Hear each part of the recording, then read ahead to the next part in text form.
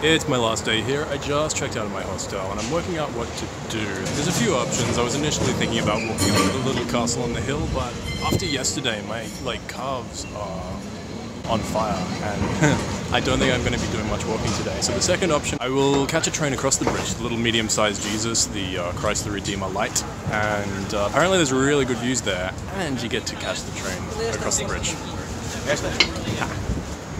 Uh, so that's my plan, I think.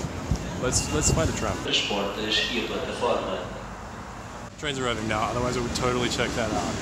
I love a good aqueduct.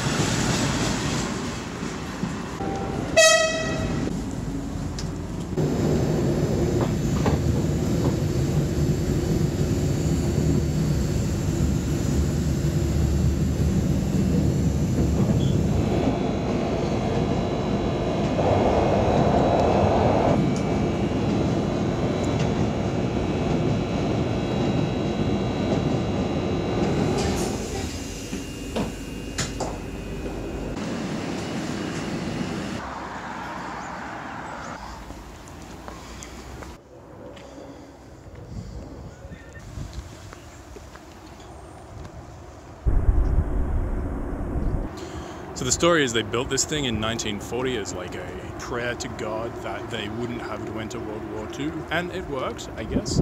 But it was also inspired because one of the cardinals visited uh, Rio and saw Christ the Redeemer in 112. But what I am actually here for is this.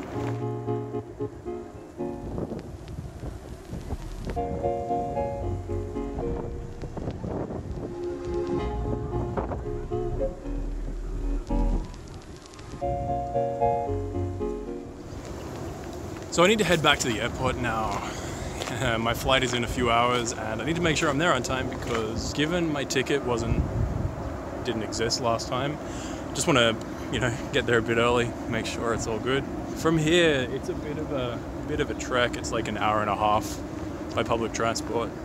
Uh, but that does include 20 minutes of me walking back to the train station, so maybe I'll see if I can catch a bus. This is probably the last, uh, last chance I'll get to give you an update, but I'm really impressed with this city. It's beautiful, well exceeded any expectations I had. Lisbon, Portugal, beautiful.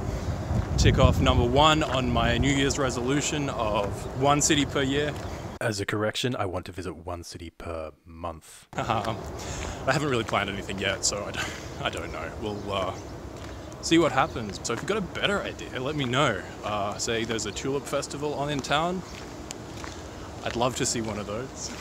Uh, obrigado for watching this video and thank you all for subscribing to my channel. anyway, let's leave it there. Until the seatbelt sign has been switched off.